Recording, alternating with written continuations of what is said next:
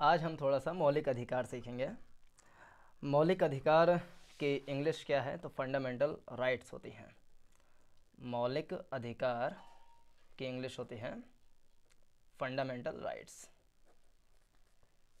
Fundamental rights अब मौलिक अधिकार क्या है?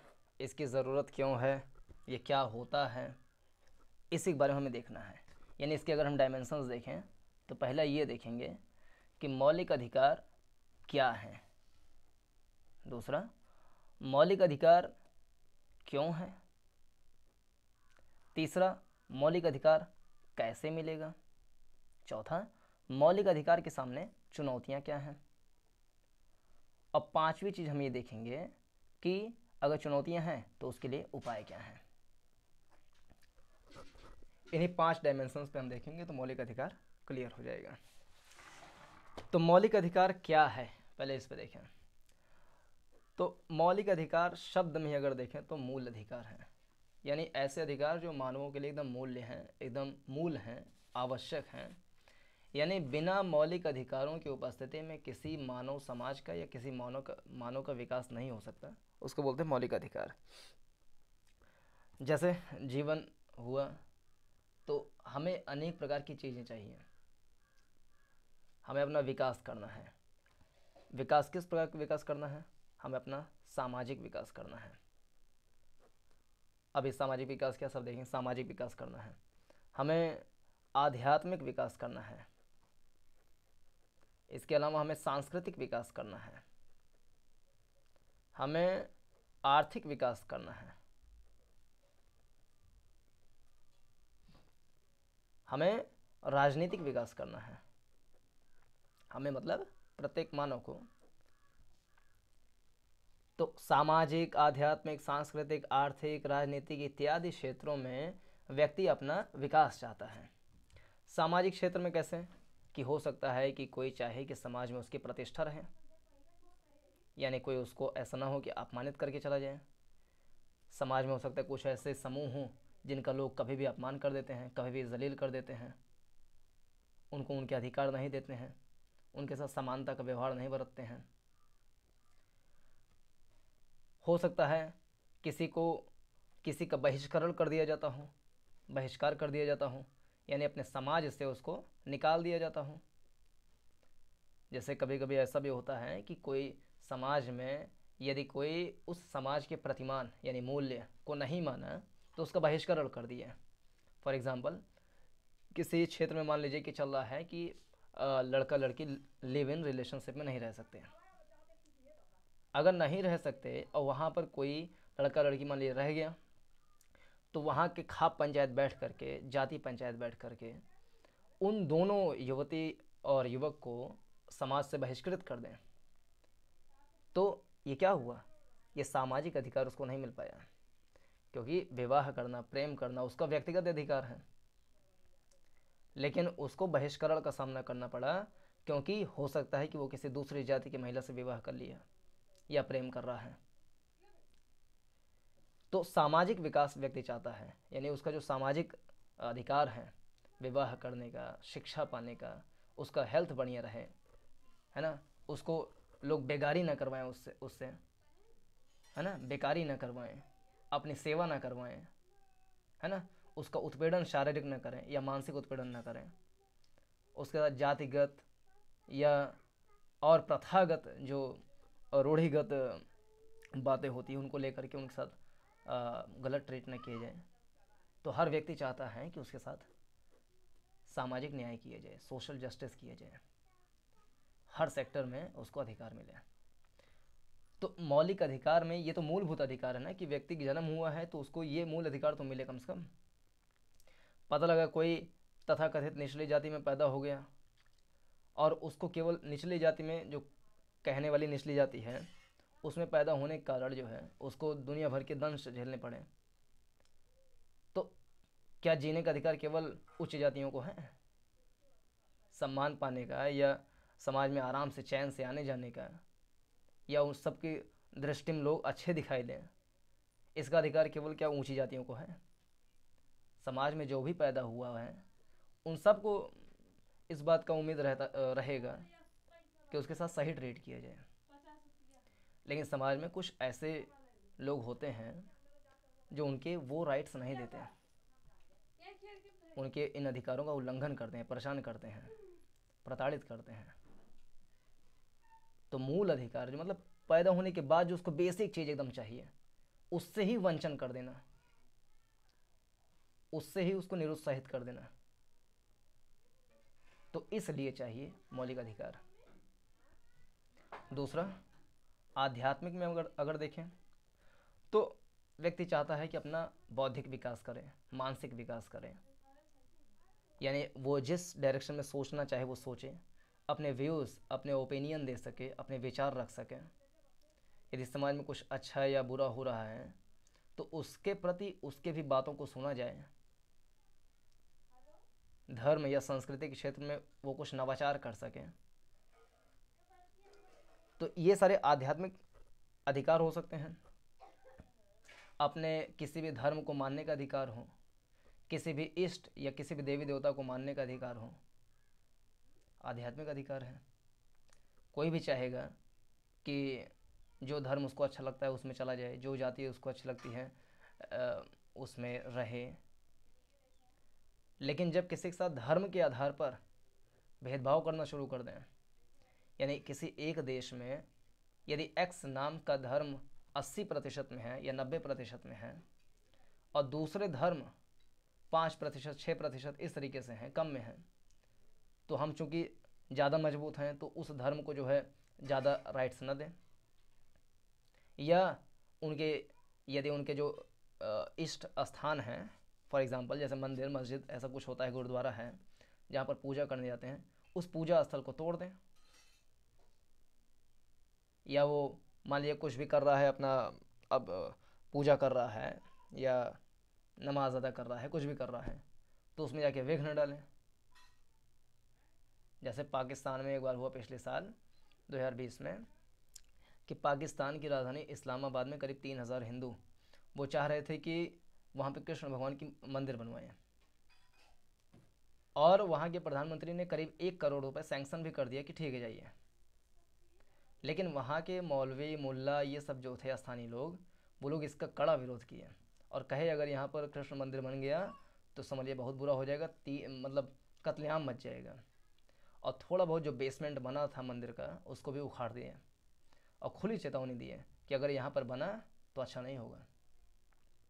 इसका मतलब वहाँ पे रहने वाले तीन हज़ार हिंदुओं का जो अधिकार था, जो आध्यात्मिक अधिकार था, वो वायलेट हुआ। यानी किसी ऐसे देश में रहना जहाँ पर कोई धर्म ज़्यादा संख्या में है, वो तुमको पूजा भी ना करने दें।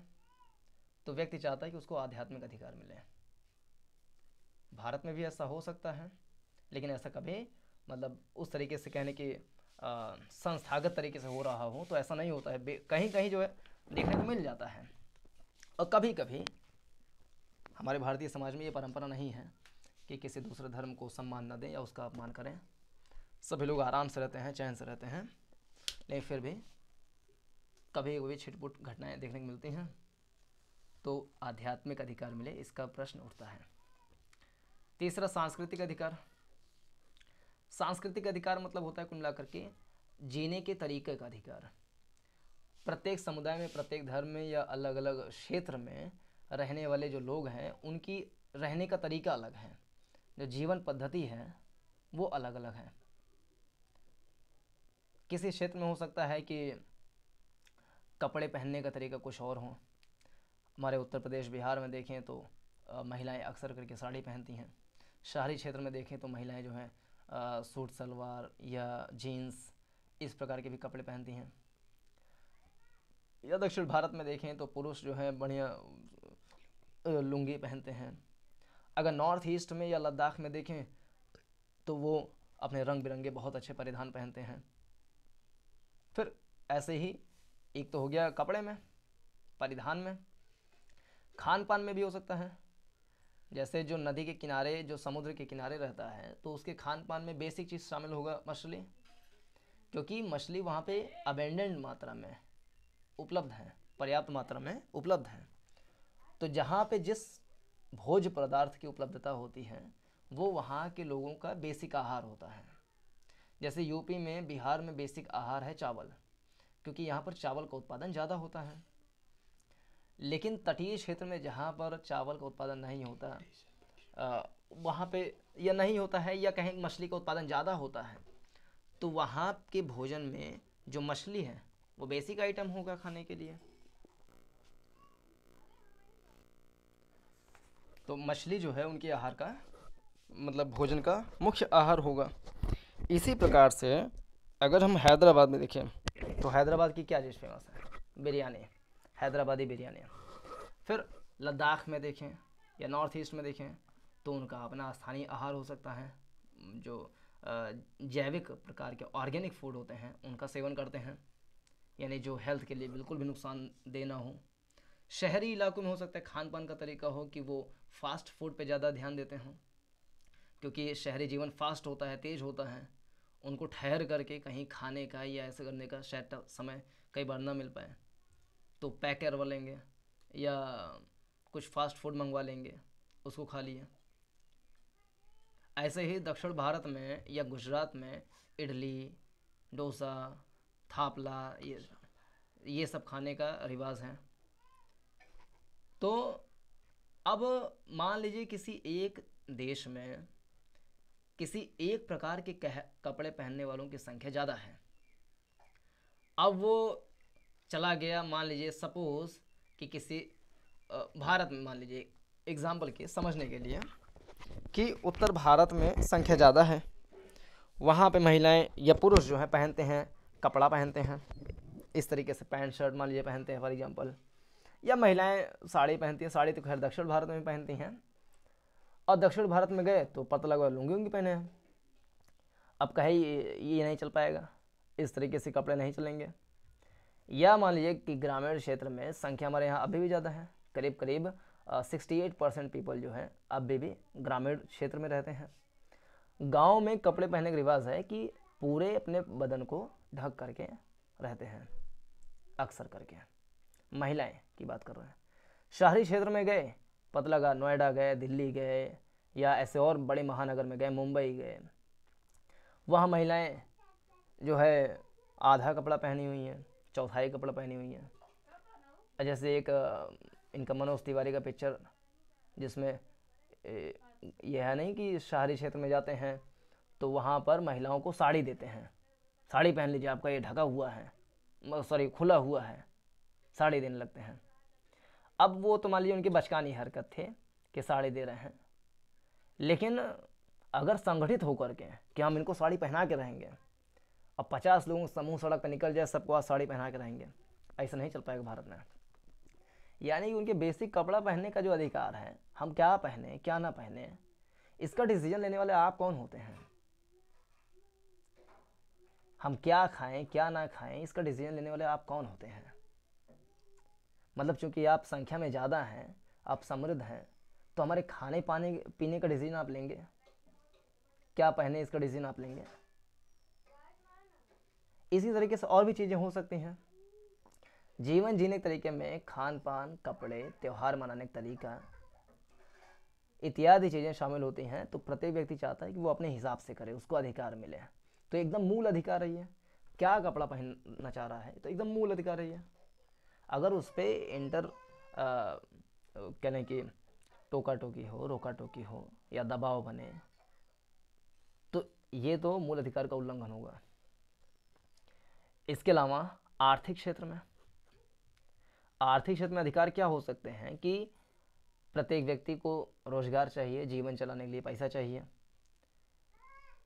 अब किसी लोगों को जो है रोज़गार करने का मौका ना दिया जाए, अवसर ना दिया जाए, आर्थिक कमाने का अवसर ना दिया जाए। यानी काम करने का अधिकार जो होता है, काम करने का अधिकार या अवसर पाने का अधिकार राइट टू अपॉर्चुनिटी है ना? बिज़नेस करना है। किसके पास जित, जो योग्यता है अपने अनुसार जो काम करना चाहता है, कोई चाहता है कि हम मेडिकल क्षेत्र में जाएँ, लेकिन या कोई चाहता है मान ली कि पढ़ाई के क्षेत्र में जाए। लेकिन चूँकि वो तथाकथित निम्न जाति का है तो कहेंगे परंपरागत रूप से पढ़ाई करने का अधिकार इनको था नहीं तो ये पढ़ाएँगे कैसे? मतलब एक समय था जब इनको पढ़ने का अधिकार नहीं था, आज इतनी ज़रूरत की पढ़ाएँगे? और उनको पकड़ लिए जाए। नहीं पढ़ाने देंगे तुम्हें। तो उसका अवसर आपने छीन लिया। उसके पास बौद्धिक क्षमता थी, वो पढ़ा सकता था। आपने सिर्फ़ जाति को देख करके उसको अवसर नहीं दिया। ऐसे ही शायद 2019 के 2020 का एग्ज़ाम्पल है। बनारस हिंदू विश्वविद्यालय में बीएचयू में एक अध्यापक जो कि मुस्लिम धर्म का था और वो संस्कृत भाषा में अच्छे से पढ़ाई किया, परीक्षा दिया, पास हुआ, प्रोफेसर बना। लेकिन वहाँ के लोगों ने मतलब कुछ लोगों ने इसका बहुत ही कड़ा विरोध किया कि एक मुस्लिम धर्म का आदमी संस्कृत पढ़ाएगा। तो संस्कृत तो एक भाषा है और भाषा किसी धर्म की मोहताज नहीं है। भाषा क्षेत्र की मोहताज है। ऐसा नहीं कि उर्दू केवल मुसलमानों के लिए है और संस्कृत केवल हिंदुओं के लिए है, इंग्लिश केवल ईसाइयों के लिए है। वो क्षेत्र के हिसाब से भाषा डेवलप होती है। ग्रामीण क्षेत्र में हो सकता है कि अवधि बोल रहे हों, महिलाएँ मुस्लिम महिलाएँ अवधि बोल रही हैं। उर्दू थोड़ी नहीं बोल रही हैं वो, अवधि बोल रही हैं। लेकिन वही मुस्लिम महिलाएँ, पाकिस्तान में हो सकता है कि थोड़ा सा उर्दू शब्द का प्रयोग करें ज़्यादा? भारत में जो पंजाब, भारत के पंजाब में लोग पंजाबी बोलते हैं। पंजाबी भाषा बोलते हैं। पाकिस्तान के भी पंजाब प्रोविंस में लोग पंजाबी बोलते हैं। अब कहते नहीं, पंजाब केवल सिखों के लिए है। मतलब जो पंजाबी भाषा है केवल सिखों के लिए तो ऐसा नहीं है। पंजाबी भाषा उस क्षेत्र विशेष में बोला जाता है जहाँ पे आ, सिख धर्म मुख्य रूप से डेवलप हुआ। है ना? अब पाकिस्तान बढ़ के चला गया उसमें तो आधा पंजाब चला गया पाकिस्तान में। अब कहें इनकी भाषा हम नहीं बोलने देंगे पंजाबी नहीं चलेगा। तो ऐसा थोड़ी ना होगा। ऐसे धर्म के भाषा के आधार पे और धर्म को बेस बना करके उनको, उनके अवसर से वंचित कर दिया गया। मतलब करने का प्रयास किया गया। हमारा संविधान इतना मज़बूत है, कानून व्यवस्था इतनी मज़बूत है कि ऐसा जो सांप्रदायिक लोग हैं, जो कहने के मतलब जो दूसरे के अवसर, दूसरे के अधिकारों को दबाने का प्रयास करते हैं हर समय, उनको दबाने के लिए अच्छे से कानून बना हुआ है तो उनके चक्कर में नहीं पड़ती हमारे देश। हमारा संविधान, हमारा कानून, हमारे देश की संस्कृति इतनी मज़बूत है। कि सभी को अवसर देगी ऐसा नहीं कि हम ज़्यादा हैं तो हम पढ़ाएँगे। तो आर्थिक अधिकार, कुछ भी काम करने का अधिकार। लेकिन काम भी ऐसा नहीं हो सकता है कि आप कुछ भी करने लगें। जैसे मान लीजिए कि या काम करने में आपको एक क्राइटेरिया निश्चित कर दिया जाए कि मान लीजिए आपको डॉक्टर बनना है, ठीक है, बन जाइए। लेकिन ऐसा नहीं कि आप मेडिकल स्टोर खोल लिए, दवाई बांटे जा रहे हैं। आपको एक क्राइटेरिया जो है फुलफिल करना पड़ेगा, आपको डॉक्टर की पढ़ाई करनी पड़ेगी। जो भी निश्चित है B pharma D pharma M pharma या एम बी बी एस या कुछ भी और छोटी पढ़ाई बेसिक डिप्लोमा कोर्स करना पड़ेगा। तब आपको सर्टिफिकेशन किया जाएगा कि हाँ अब आप योग्य हैं जाइए खोलिए। तब आप कर सकते हैं काम। यानी अवसर आपको मिलेंगे, लेकिन अवसर के लिए आपकी योग्यता होनी चाहिए। और अवसर सभी को मिलेंगे। और योग्यता के अनुसार कोई भी आगे बढ़ सकता है। इसे बोलते हैं आर्थिक अधिकार। बेसिक अगर बात करें तो ये। काम करने का अधिकार, जैसे महिलाओं को जो है, अक्सर करके सरकारी नौकरियों या प्राइवेट सेक्टर्स में नियोजित करने से बहुत सारे परिवार हिचकिचाते हैं।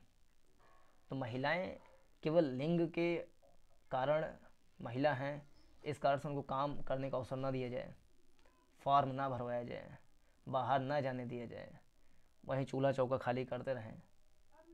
तो काहे का ये ये तो इनका एकदम मूल अधिकार है।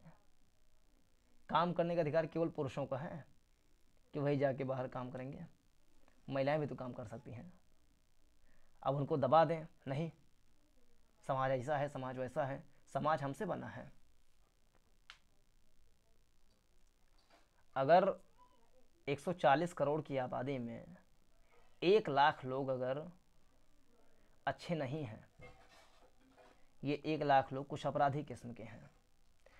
तो केवल इन एक लाख के कारण हम पचास करोड़, जो करीब पैंसठ करोड़ की महिलाएँ हैं, उनको अधिकार नहीं देंगे, क्योंकि ये एक लाख में से कोई एक जो है, इनमें से किसी के साथ बुरा बर्ताव कर सकता है।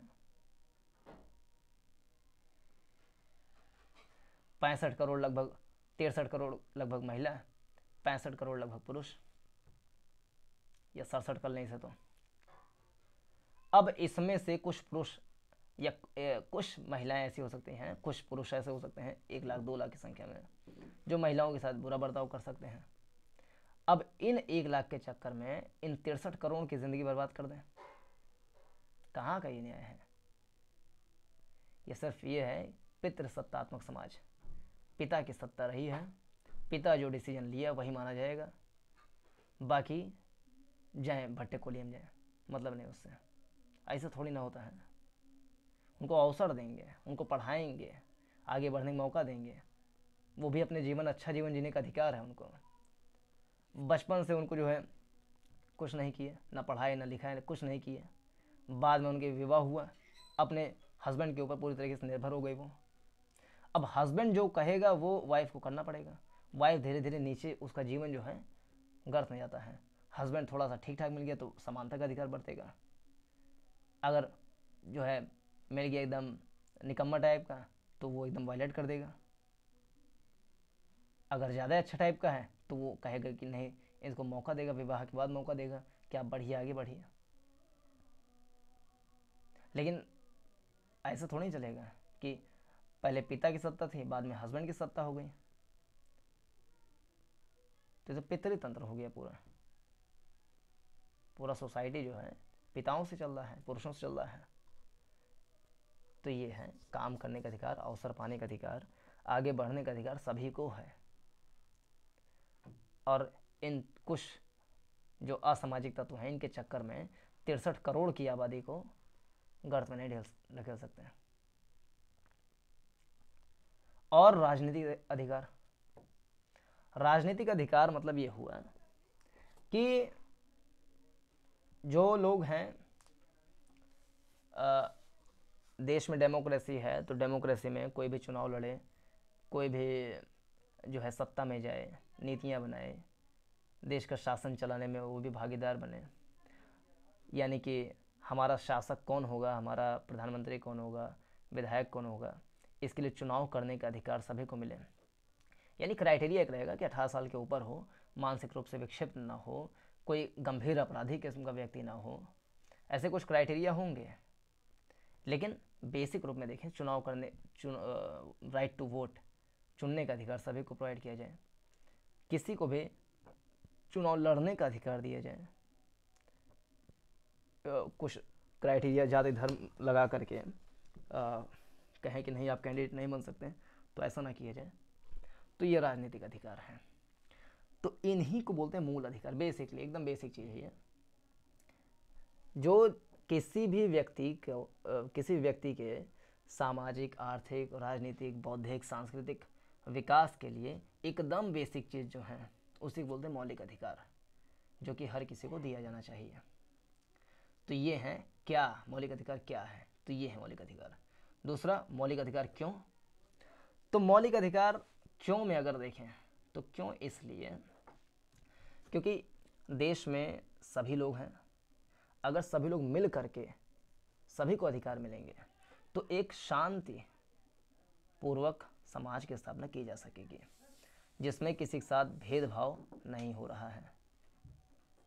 सभी लोग मिल करके काम करेंगे, महिला, पुरुष, सभी धर्म, जाति के लोग मिल करके काम करेंगे तो देश का जो विकास है, वो द्रुत गति से होगा, तेज़ी से होगा। किसी तिरसठ करोड़ महिलाओं, पचास करोड़ महिलाओं को अगर दबा देंगे तो विकास की राहों में या विकास के डगर पे केवल यही इतने, पैंसठ करोड़, सड़सठ करोड़, सत्तर करोड़ पुरुष रह गए। तो सत्तर करोड़ के साथ में अगर साठ करोड़ ये भी जुड़ जाती तो विकास और तेज़ी से ना होता। विकास अवरुद्ध हो गया इस कारण से। और जो है, अधिकार इसलिए चाहिए ताकि लोग अपना विकास कर सकें और देश का विकास कर सकें। तो बेसिक सा मतलब ये है। और भी डायमेंशंस हो सकते हैं, उस पर डिस्कशन करना भी जो है, इतना बेसिक चीज़ समझ में आ रहा है? ताकि समाज में शांति रहे, क्लेश ना रहे, है ना? सभी लोग बंधुत्व के भावना से आगे बढ़ सकें, है ना? विकास कर सकें, ये सारी चीज़ें। ये जो मौलिक अधिकार हैं, क्यों, कैसे दिए जाएँ? तो कैसे दिए जाएँ? इसके लिए हमारा एक संविधान बना हुआ है, भारत के संविधान। इसमें मौलिक अधिकार दिए गए हैं विभिन्न प्रकार के। उस मौलिक अधिकार को कानून बना करके सरकार के द्वारा, प्रशासन के द्वारा इम्प्लीमेंट कराया जाए। इसके अलावा समाज में जो शिक्षा है या जो जागरूकता है, जागरूकता, इसका स्तर बढ़ाया जाए। क्योंकि जैसे जैसे लोग शिक्षित होंगे, जागरूक होंगे, वो इस विचार से बाहर निकलेंगे कि किसी को दबाना चाहिए। शिक्षित समाज लगभग हमेशा ये चाहेगा कि वो सभी को अवसर दे। कुछ क्राइटेरिया बना करके उसको वंचित ना कर दें। जागरूक समाज चाहेगा कि सभी लोग मुख्य धारा में आए, सभी लोगों को विकास हो। तो इसलिए शिक्षित करें, जागरूक करें। संविधान में प्रदत्त मौलिक अधिकारों का कानून बना करके इम्प्लीमेंट किया जाए। तो ये दो तरीके होते हो सकते हैं मौलिक अधिकार दिलाने के। मौलिक अधिकार के सामने चुनौतियाँ क्या हैं? तो चुनौतियाँ एक है रूढ़िवादी जो रूढ़िवादी विचार हैं। ये बहुत बड़े चुनौती हैं। रूढ़िवादी विचार में जैसे बहुत सारे लोग जातिवाद, जातिवादी होते हैं। हमारा जाति ऊँचा है, उसका जाति नीचा ये पूरा एक क्रम होता है, अधिक्रम होता है। ऐसा नहीं कि ब्राह्मण ठाकुर चमार को जो है दबाते हैं। ऐसा नहीं है। पूरा एक अधिक्रम है। मतलब एकदम बेसिक चीज़ बात कर रहे हैं। ऐसे एकदम हर चीज़ में एकदम वो नहीं कह सकते कि हाँ ब्राह्मण ठाकुर ही दबाते हैं। ऐसा नहीं है। जी। है ना? लेकिन एकदम बेसिक जो बातें हैं वो कि सपोज़ ब्राह्मण दबाया यादव को। यादव दबाया मान लीजिए कि मौर्य को मौर्य दबाया मान लीजिए हरिजन को। यानी पूरा एकदम क्रम है जैसे हम ये नहीं कह सकते कि अरे मौर्य का तो बड़ा आ, सामाजिक नुकसान हो रहा है यादव लोग दबा रहे हैं। ये भी दबा रहे हैं अपने नीचे नीचे वाले को। हरिजन में भी कोई और मान लीजिए भंग है या जो मरे हुए पशुओं को फेंकता है चांडाल है सपोज़ वो उसको दबा रहा है। ये ऊपर वाला इन सबको दबा रहा है। नीचे वाला अपने नीचे के सबको दबा रहा है। ये वाला अपने नीचे के दोनों को दबा रहा है। ये वाला केवल इसको दबा पा रहा है। फ़र्क इतना है कि कुछ लोग ज़्यादा लोगों को दबा पा रहे हैं, कुछ लोग कम लोगों को दबा पा रहे हैं, लेकिन दबा रहे हैं सभी एक दूसरे को।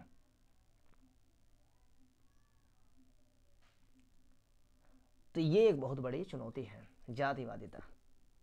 और जातिवादिता किसी एक जाति में नहीं है। केवल ब्राह्मण या ठाकुर में नहीं है, पूरे समाज में जातिवादिता है हरजन में भी जातिवादिता है। इसके अलावा चुनौती और क्या है? एक शिक्षित समाज नहीं है, ये एक चुनौती तो है ही है, जागरूक समाज नहीं है। इसके अलावा कानून का अनुपालन ठीक प्रकार से नहीं हो पाता है कई बार। तो ये सभी कुछ चुनौतियाँ हैं। उपाय क्या है? तो उपाय के रूप में कैसे वाली बात को हम देख सकते हैं। मौलिक अधिकार कैसे दिए जाएँ? तो संविधान में जो कानून दिया गया है मौलिक अधिकार अव्यक्ति का, है ना, संघ बनाने का, कहीं आने जाने का, रोज़गार करने का, जीवन जीने का अधिकार, काम करने का अधिकार, है ना, सांस्कृतिक विकास करने का अधिकार, शिक्षा पाने का अधिकार शोषण न हो पाए इसके विरुद्ध अधिकार, है ना तो अवसर पाने का अधिकार, ये सारे सारे अधिकार दिए गए संविधान में। उनका अनुपालन सही प्रकार से हो। ये सब उपाय हो सकते हैं। तो ये हमने देख लिया कि मूल अधिकार क्या है क्यों आना चाहिए कैसे आ सकता है चुनौतियाँ क्या उपाय क्या हैं। तो एक बेसिक चीज़ मूल अधिकार के बारे में समझ में आ गया होगा। जी। तो इसमें जो है इतने ही बातें करना वाजिब रहेगा। बाकी स्वतंत्र न्यायपालिका क्या है ये भी एक अच्छा विषय है। संचार माध्यम क्या है तो इसके बारे में हम देखेंगे। बाद में है ना? फिर सर्वधर्म संभाव लोकतंत्र के सामने चुनौतियाँ क्या हैं तो ये सारी चीज़ें हम देखेंगे आ, बाद में। इसमें इतना ही। धन्यवाद।